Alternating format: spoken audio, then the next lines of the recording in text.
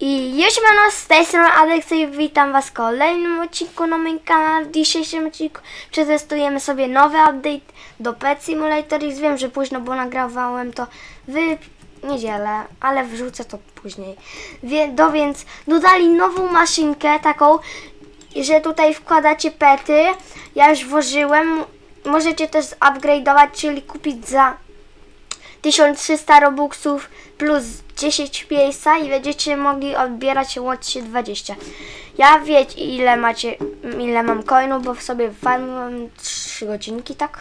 No i tro- dostawałem trochę z tego. No i mam dużo boostów, bo dostałem bardzo z tego dużo miałem. Tych boostów miałem widzowie około 40-50, a teraz mam prawie 1000. Tych miałem też tak mało.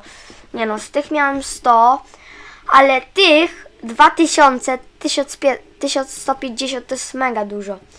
Jeśli chodzi o moje huge, to mam 10, mam tego nowego, bo trafiłem. Tak, trafiłem. Możecie wbić też na moje live'y, macie do, link w opisie do wszystkich live'ów, które są dzisiaj. No i pojutrze, widzicie? Te jajko, ja już mam odblokowane. Dzisiaj będzie live taki stream. Bo mi te legendy nie będą potrzebne, to dla was mogą się przydać. Znaczy takie mityki, no. Bo na hardkorze sobie dzisiaj przed chwilą farmiłem, mamy trochę tych legend, mamy y, takiego, mm, jeszcze jedną taką miałem, taką legendę. Tylko dziwię mnie, dlaczego po prostu to jest takie słabe. Dlaczego to ma 17 kół? Znaczy, dobra, no okej, no ale takie skrzynki były na chyba na tym, y, no na Catword, bo wiecie, no takie były na Catwordzie. No i chyba to wszystko było z tego update'u.